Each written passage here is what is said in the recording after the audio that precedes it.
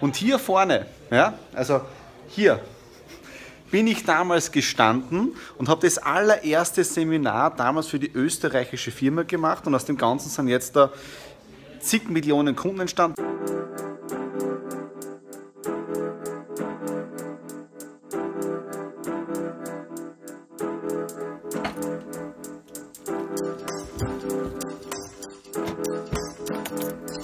Hallo und herzlich willkommen. Wir starten in eine neue Woche hinein in den Business Vlog Ausgabe 233 und jetzt da machen wir uns auf den Weg zur delegierten Sitzung der Jungen Wirtschaft Steiermark und zur Wahl des neuen Vorstands von der Steiermark von der Jungen Wirtschaft und ich kehre aufgrund dieser Wahl zum Ursprung zurück. Was ich damit meine? Dranbleiben.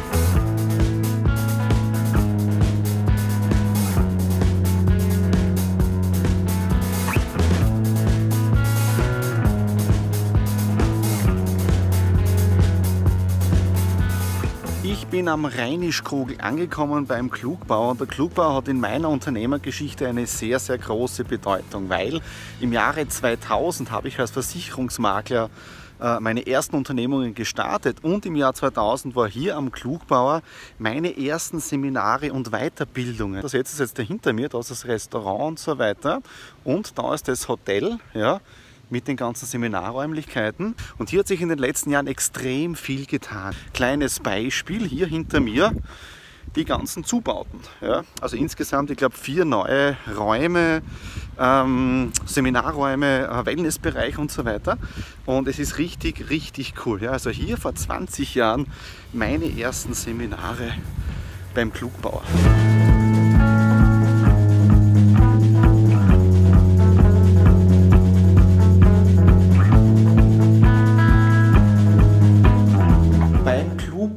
Eingecheckt und die Junior-Chefin war auch da. Ja, sie hat mich auch erkannt. Vielen, vielen Dank, obwohl es schon wieder Jahre her ist, dass ich äh, hier gewesen bin. Aber was mir sehr richtig gefällt, ist, was sich hier beim Clubbau in den letzten 20 Jahren getan hat. Allein das Zimmer, also wirklich super schön. Dusche, ja, super Bett und so weiter, super Aussicht drüber zum Restaurant. Und wir sind jetzt da genau in diesem Seminarraum drinnen, wo die nächste Geschichte in meinem Unternehmerleben hier beim Klugbauer gestartet ist. Ja, das heißt, die erste Dekade in meinem Unternehmerleben war in der Versicherungswirtschaft als Versicherungsmakler und die zweite Dekade, da nehme ich euch dann auch gleich mit, weil wir sind genau in diesem Seminarraum wo es damals begonnen hat. Ja? Aber dazu mehr und jetzt geht es mal gemütlich zum Essen und der Clubbauer Immer sehr, sehr gute Küche.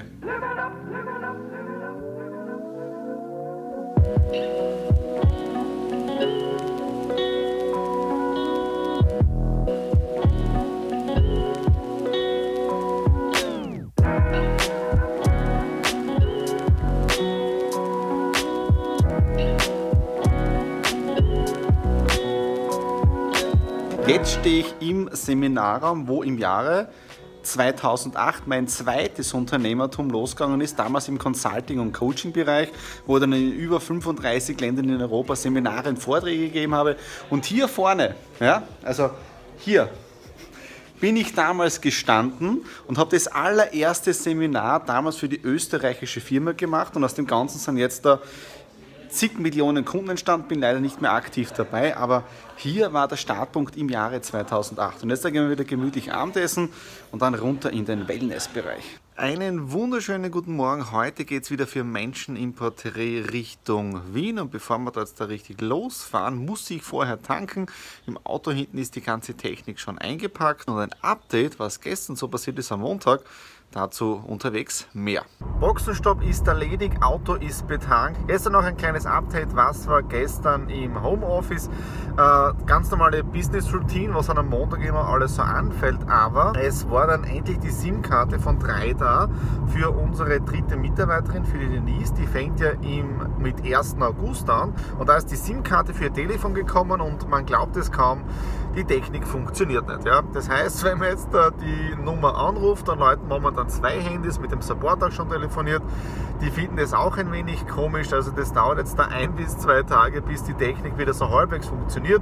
Wichtig ist aber, Kunden können ganz normal anrufen, es funktioniert also, aber es ist ein bisschen ärgerlich, wenn dann auf einmal alle Telefone läuten. Ja. Und äh, Feedback auch von der jungen Wirtschaft, also die Delegiertensitzung am Club war wirklich ein, ein megamäßiger Erfolg gewesen. Von Freitag auf Samstag ist es ein wenig länger geworden, sprich ich bin erst ein bisschen nach Mitternacht ins Bett gekommen, dafür aber tolle Gespräche und tolle Vorträge auch von Manfred Keinz und ein, ein Zitat, äh, das ist richtig cool gewesen und zwar auf die Dauer haltet ihr meine Ausdauer nicht aus.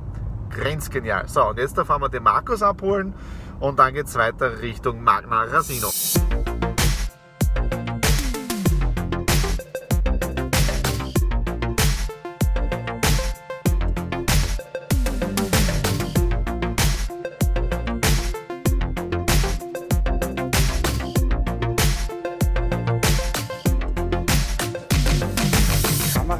Im Magna Resina aufgebaut und hinten sieht man schon den Markus. Der tut sich schon optimal vorbereiten für unseren Interviewgast.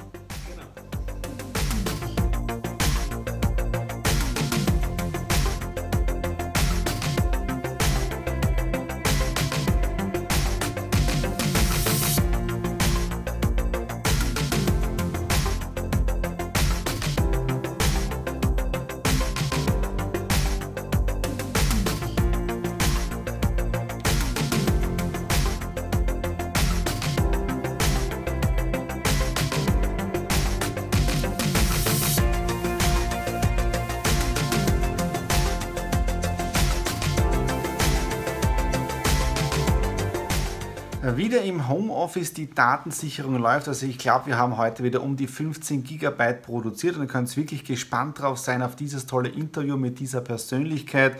Wieder mal komplett was anderes vom, vom, vom Interviewpartner her, den der Markus hier äh, vor die Kamera bekommen hat. Ja? Und Magna Rasino, ja, das ist gleich in der Nähe vom Fontana, wo wir auch die anderen Menschen im Porträt-Interviews gedreht haben. Und äh, richtig coole Geschichte für Event-Location und so weiter, muss man da noch genauer anschauen. Drei hat sich auch schon gemeldet, also ich muss das Ganze erst durchtesten. Es kann jetzt da einfach nur sein, dass ich meine beiden Support-Telefone, ja, eines gehört ja der Denise, das andere ist ja die Nadine ihres, äh, ich werde sicher erraten, welches Support-Telefon der Nadine gehört. Ja? Ähm, und es kann nur sein, dass die einfach nur deswegen gemeinsam läuten, weil sie beide im gleichen WLAN sind und die gleiche Apple-ID haben. Ja? Also im Prinzip eh was Simples und was Einfaches. So, jetzt da gehe ich gemütlich essen und heute auch schon gesehen vielleicht, ja, mein nächstes Shield-Level und zum Mittagessen, Abendessen ja, gibt es auch eine Folge Agents of Shield. So, und jetzt tun wir Datensicherung weitermachen und wir gehen noch ein bisschen essen. Auto ist jetzt in der Dreihackengasse in der Tiefgarage geparkt und das Tolle ist 4,50 Euro für den ganzen Tag. Danke an den Marco für diesen tollen Tipp. Und jetzt muss ich nur mehr in die Stadt reinfinden zum Hauptplatz. Ja. Dann der erste Termin. Und genau, was ich sagen wollte, am Samstag ist ja mein neues Shirt gekommen von Captain America. Ich blende euch kurz ein Bild ein. Und der Vorteil ist da wirklich, dass ja, die Bauchmuskeln aufgemalt sind. Ja, viele haben sich gedacht, als ich das Bild gepostet habe, ich habe wirklich so viel trainiert in den letzten Wochen. Leider nein. Ja, das heißt, der richtige Winkel, dieses Captain America Shirt und der Waschbrettpauch ist perfekt. Bin einfach ein Marvel-Nerd. So, jetzt gehen wir zum ersten Termin.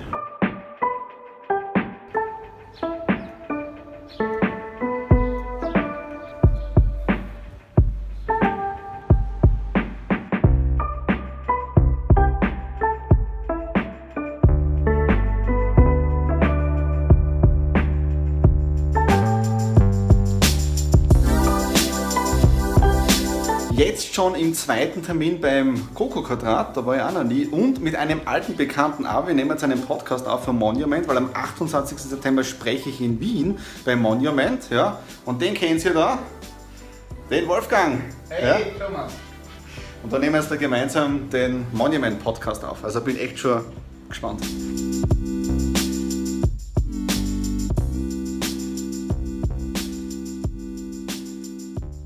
Ich bin wieder zu Hause im kühlen Homeoffice. Draußen hat sie aktuell 33, 34 Grad. Hier herunten bei mir im Homeoffice angenehme 22 Grad. Also ich muss mich aufpassen oder hüten, dass ich mich nicht verkühle und auch warme Socken anhabe, ja, hier herunten.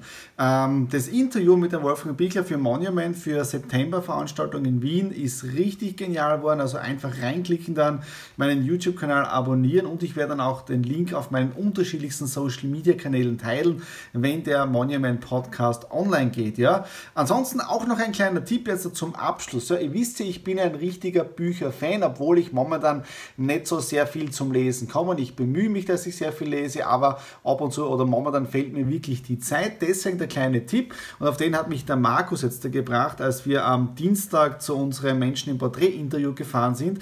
Es gibt nämlich eine App, eine Plattform, die nennt sich Rebuy. Ja? Dort kann man gebrauchte Bücher kaufen, aber man kann auch dort gebrauchte Bücher verkaufen. Ja, und das ist richtig cool. Habe mich jetzt da angemeldet und ich habe jetzt die ersten Bücher schon bestellt. Da sind dann Bücher mit 1, 2 Euro drinnen, äh, die ein paar Jahre alt sind, sind halt im Second-Hand-Markt, aber in dem Fall kein Thema. Und ich glaube jetzt da 31 oder 30 Euro ausgegeben für 15 Bücher. Also nächste Woche wird dann das Paket kommen und ich habe die Zeit jetzt da auch genutzt, um das Ganze mit der App zu testen im Verkauf. Ja, bedeutet, man nimmt einfach seine ganzen Bücher her, die man eh nicht mehr liest oder nie gelesen hat, wie immer, die man aber hat. Ja, man scannt das Ganze mit der App ein. Ja, das heißt, man scannt das Buch ein mit dem Barcode hinten drauf. Die App schlägt dir sofort einen Verkaufspreis oder einen Ankaufspreis von Rebuy, die DVDs und so weiter und unterm Strich sind jetzt da, glaube ich, insgesamt 38 Euro zusammengekommen und weil es der erste Verkauf ist an Rebuy, 5 Euro dazu, sie bekommen jetzt 43 Euro auf mein Bankkonto und damit sind die Bücher, die ich gekauft habe, bezahlt. Also das ein kleiner Tipp jetzt da. Ich habe den Service das erste Mal jetzt genutzt, bin gespannt, wie das funktioniert. Und die zwei Pakete habe ich jetzt auch schon bei der Post aufgegeben, sprich meine Bücher, die ich an Rebuy verkauft habe, gehen jetzt da auch schon retour oder an Rebuy. Ja? So, okay, das war es da für den Business Vlog Ausgabe 233 ich glaube, es ist 233, ja. Wenn es euch gefallen hat, natürlich wieder Daumen nach oben, Kommentare unten in der Box drin hinterlassen und wenn ihr Unterschiede oder wenn ihr Themen habt, die ich im Business Vlog behandeln soll oder beantworten soll, Fragen, ja, dann einfach in die Kommentare hineinschreiben und worüber wir uns immer wieder freuen, ist natürlich, wenn ihr uns ein Abo oder wenn ihr mir ein Abo hier auf dem Kanal da lässt, weil dann versäumt ihr keine Ausgabe des Business Vlogs, die, der zukünftigen Cruise Vlogs und aber auch der Stradi Classics. In dem Sinne, alles Liebe, euer Thomas.